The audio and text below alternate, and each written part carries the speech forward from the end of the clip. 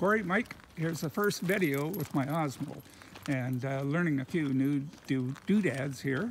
I gave up reading the directions. That's, uh, who needs directions?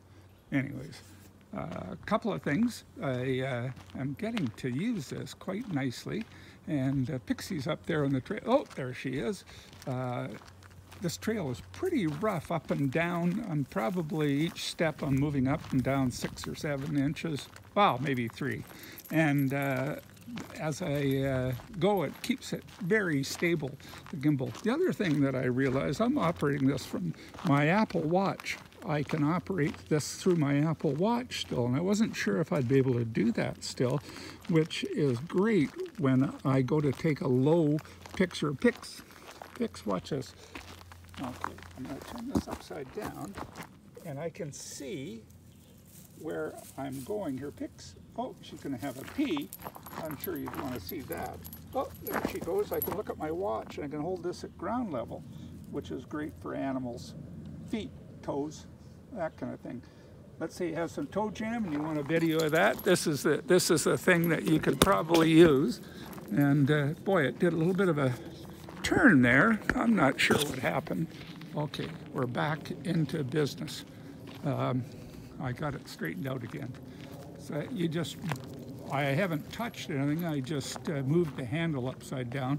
Takes a little bit of technique to twist the handle to move and get going, but I think after walking through this trail once, it's going to be a big benefit to learning how to use it. Now, here's what you really want to see is your dad's selfie using the Osmo.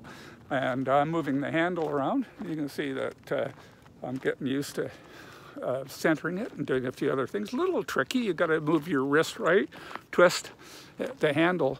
But again, I like the stability of the camera and the movement. Uh, a lot of not a lot of movement in an old man like myself, but it's great. You give me these gadgets. It keeps me busy and keeps me occupied, and I don't send you pictures and movies and stuff. But, um, geez, it would be great if you guys lived on the island.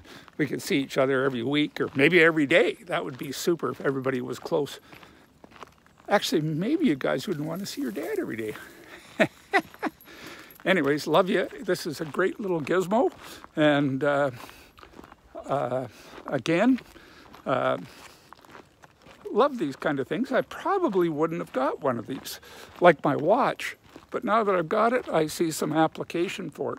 A bunch of little uh, doodads on the app on the screen, uh, functionality that I haven't tried yet, that I will give a boost to and present in my next quality dad video.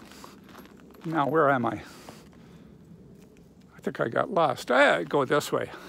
Huh. Do you think you'd find your dad in these woods if I if I did uh, take a wrong turn while I'm making one of these movies?